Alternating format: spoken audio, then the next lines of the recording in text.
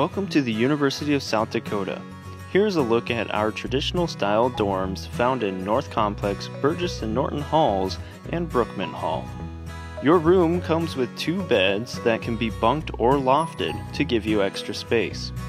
All campus beds have a twin extra long mattress. Available for rent or purchase in your room is a microwave freezer fridge combo, a safe, and a comfortable futon.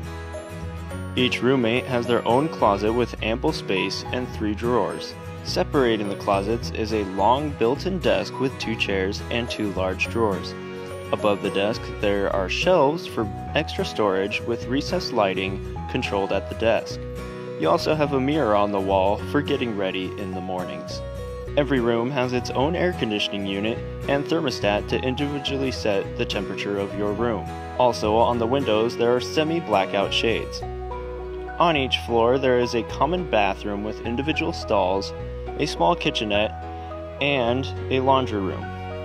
All laundry runs off Coyote Cash from your Coyote card.